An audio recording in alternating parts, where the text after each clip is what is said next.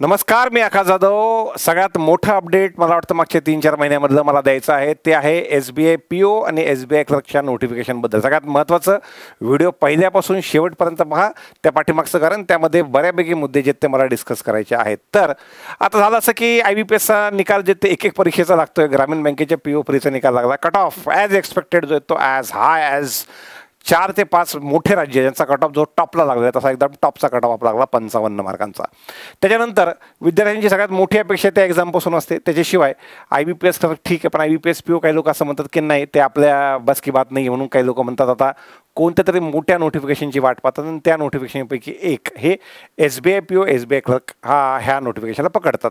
तर सध्याला त्याचं अपडेट जे ते ह्या व्हिडिओच्या माध्यमातून मला पाहि आपल्याला जे ते पाहायचं आहे. आणि ती खूप पॉझिटिव्ह न्यूज आहे तुमच्या सगळ्यांसाठी. ते पाहत असताना फक्त एस बी आयबद्दलचं हे अपडेट असल्यामुळं आपण आपली जेवढ्या जेवढ्या जिल्हा मध्यवर्ती बँकांच्या जाहिराती सध्याला आहेत ज्यामध्ये अहमदनगर आहे रायगड आहे सातारा आहे रत्नागिरी आहे उस्मानाबाद आहे आणि पुणे आहे. ॲडमध्येच उल्लेख अहमदनगर आणि उस्मानाबाद केलेला असल्यामुळं तसा उल्लेख केला तसा अहिल्यानगर आणि धाराशिव हा उल्लेख माहिती आहे. तर ह्याची आपली बॅच जी आहे ती सध्याला उपलब्ध आहे तीस तारखेपासून स्टार्ट होते दुसरं आपली ऑफलाईन आणि ऑनलाईन बॅच जी आहे ती नवीन विद्यार्थ्यांपर्यंत पोहोचवा. ऑनलाईन बॅच जी आहेत आपली ऑफलाईन बॅच ही संभाजीनगरला सव्वीस सप्टेंबरपासून स्टार्ट होते. ऑनलाईन ऑलरेडी स्टार्ट झाली. ज्याचं बेसिक संपून पहिला टॉपिक आपला सुरू आहे. सोबत क्वांट बॅचमध्ये मी चेंजेस केले आहेत पहिल्यांदा तीन महिने एक महिना तीन महिने सहा महिने बारा महिने होते. त्यामध्ये सहा महिने बारा महिने दोनच ऑप्शन ठेवले. त्याने बॅचची फीससुद्धा कमी केलेली आहे. जी चार होती तिला तीन केलेली आहे. आणि जी तीन होती त्याला दोन केलेली सो दॅट ॲफोर्डेबल हवं सगळ्या पोरांना म्हणून. तर कारण की ऑलरेडी भरपूर मुलं वापरतात. ती जास्त मुलांची रीचमध्ये यावी हा त्याच्या पाठीमागचा उद्देश होता. तिथून पुढे अमोल आपल्या अमोल सरांची जी आहेत ती रिझनिंगची बॅच तीसुद्धा त्यांना मी फीस कमी करायला लावलेली आहे. इंग्लिश त्यांचीसुद्धा सरांचं इंग्लिश एक्सप्रेस जनरल अवेअरनेसचा पार्ट आहे. सगळ्यांना पाठीमागं लागून खाली जे ते मी विद्यार्थ्यांच्या अफोर्डेबिलिटीच्या हिशोबानं करायला सांगितलेलं आहे. या पुढे या. आणि सोबत सध्याला एस बी आयचं मोठं अपडेट असल्यामुळं खाली मी एक S B I twenty five हा कुपन कोड यूज करायला सांगितलेलं आहे. फीस कमी केलेली आहे आणि सोबत S B I twenty five coupon code use करायचा सो दॅट विद्यार्थ्यांना वीस तारखेपासून ते तेवीस तारखेपर्यंत एक ट्वेंटी फाय पर्सेंट ऑफ मिळेल सगळ्या बॅचेसवर या आपल्या नोटिफिकेशनवर एस बी आय आणि एस बी आय पी ओबद्दल ज्यावेळेस आत्ता माझं बँकेत काम होतं तर त्यावेळेला मी बँकेत गेलो होतो तर तिथे मला यांनी सांगितलं होतं आमच्या विद्यार्थ्यांनी सांगितलं होतं की सर आमच्या बँकेत एक नवीन सर्क्युलर आले ज्यामध्ये वन ब्रँच एका ब्रँचला वन क्लर्क वन ऑफिसरवाल्या ब्रँचेस स्क्रॅप होत आहेत. आणि तिथे कमीत कमी दोन क्लर्क असावेत असा आम्हाला एक सर्क्युलर येत आहे म्हणून सांगितलं त्यांना. नंबर एक पहिल्यांदा. तर त्यामुळे काय होईल जे छोट्या ब्रँचेस जिथे एक एक क्लर्क काम करतो आणि जिथे नसेल तो सुट्टीवर असेल तर दुसरीकडचा डेप्युटेशन होतो. ती सिस्टम जी ती कमी होऊन तिथे दोन दोन क्लर्क लागले तर सगळ्यात छोट्या बँकांमध्ये समजा त्याच्या शाखा पाच हजार असतील टोटल शाखांपैकी एस बी आयच्या ज्या सिंगल क्लर्कवर चालतात. पाच हजार सहा हजार आठ हजार दहा हजार दहा हजार तेवढे क्लरिकल लागतील. नंबर एक. नंबर दोन काही विद्यार्थी S B S C B O म्हणून होते. त्यांच्या ब्रँचेसला ए जी एम आणि डी जी एम जी एमच्या मिटिंग्स किंवा व्हिजिट होत्या मुंबईहून. आणि त्यांनी आल्यानंतर सांगितलं होतं उडता उडतं सांगितलं होतं की एक चोवीस पंचवीस हजाराच्या आसपास पंचवीस हजाराच्या आसपास जाहिरात जी ती मोठी होऊ शकते. जी मी तुम्हाला सांगितलं होतं कच्ची माहिती होती. जी आपण ऐकली होती ऐकली होती आणि मी मागच्या मंथली सेशनमध्ये त्याबद्दल बोललो पण होतो. तर अशा पद्धतीनं एस बी आय जे ते ह्याच वर्षी इनफॅक्ट नेक्स्ट मंथमध्ये नवीन जाहिरात जी ती काढू शकतं. आणि एस बी आयची ही जाहिरात एक्सपेक्टेड नोटिफिकेशन जे ते पुढच्या महिन्यामध्ये. असं समजा की दिवाळी एक जानेवारीला एक नोव्हेंबरला आहे.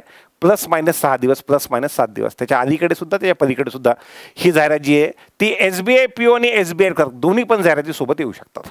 सर त्याची एक्सपेक्टेड एक्झाम डेट काय प्रीची तर एस बी आय क्लर्कची जी प्रीची एक्स एक्सपेक्टेड एक्झाम डेट असेल ती सत्तावीस डिसेंबरपासून सत्तावीस अठ्ठावीस एकोणतीस तीस असं काही असू शकते.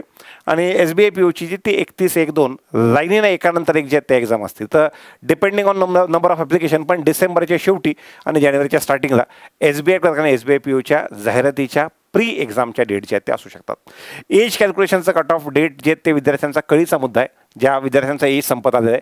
पण खूप जास्त रॅम जे ते एस बी दाखवत नाही. आपण कितीही पाठीमागा लागा कितीही कोणत्याही साईडनं प्रेशर आणण्याचा प्रयत्न करा त्यांना जे करायचं तेच करायचं त्यामुळं कट ऑफ डेट ज्या वेळेला ॲड येईल त्यावेळेला कळेल.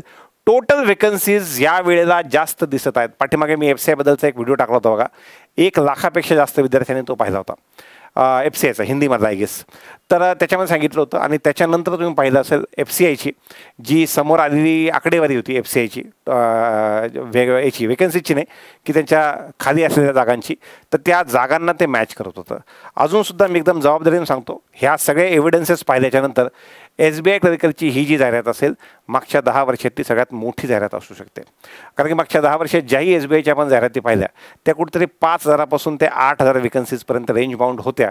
पण ही जाहिरात जी आहे ती प्रथम दर्शनी जी आहेत ही जाहिरात सगळ्यात मोठी वाटते. सर टोटल वेकन्सीज किती असतील एस बी आय क्लर्कच्या नाही माहिती किती असतील पण ही जाहिरात मागच्या दहा वर्षात सगळ्यात मोठी असण्याचे चान्सेस आहेत. S B I P O त्याच्या वेकन्सीज आतापर्यंत देताना एकदम कंजूस पद्धतीने दोन दोन हजात दिलेल्या आहेत पण सध्याला अपेक्षा आहे. ह्याचीसुद्धा अपेक्षा आहे. याच्याबद्दलचीही न्यूज आहे पण जास्त कन्फर्म न्यूज जी ती एस बी आय क्लर्कच्या साईडनं तर एस बी आय पी ओच्या वेकन्सीज असू शकतात जास्त. नाही काय तर दोन एक हजार वेकन्सी त्याच्या कमीत कमी एस बी आय पी ओच्या असतीलच. त्यानंतर आता बघा ह्या एक्झाम जर डिसेंबर एंडला सत्तावीस अठ्ठावीस एकोणतीस तारखेला आल्या तर मला कॅलेंडरमध्ये बघून डेट सांगू नका. या दिवशी मंगळवार असतो या दिवशी बुधवार असतो ते खाली लिहायचं पण नाही त्याच्याबद्दल. आता त्याच्यासोबत एक्झाम कॅलेंडर जे डिसेंबर एंडपर्यंत आहेत त्यामध्ये आय बी पी एसचं कॅलेंडर आहे. तुम्हाला ते मॅनेज करायचं आय बी पी एस कॅलेंडरमध्ये आता आत्ताशी तुमच्या प्री एक्झाम झाल्या तीन. तर तुमची R R B P O mains एकोणतीसला आहे. सहा ऑक्टोबरला तुमची R R B assistant mains आहे. बारा का तेरा ऑक्टोबरला एखाद दोन दिवस पुढे मागं आय बी पी एस क्लरिकलची मेन्स आहे. एकोणीस वीस तारखेला तुम्हाला I B P S P यूची pre आहे. त्याच्यामधल्या काळामध्ये तुम्हाला इंडियन बँकेची लोकल बँक ऑफिसरची एक्झाम आहे.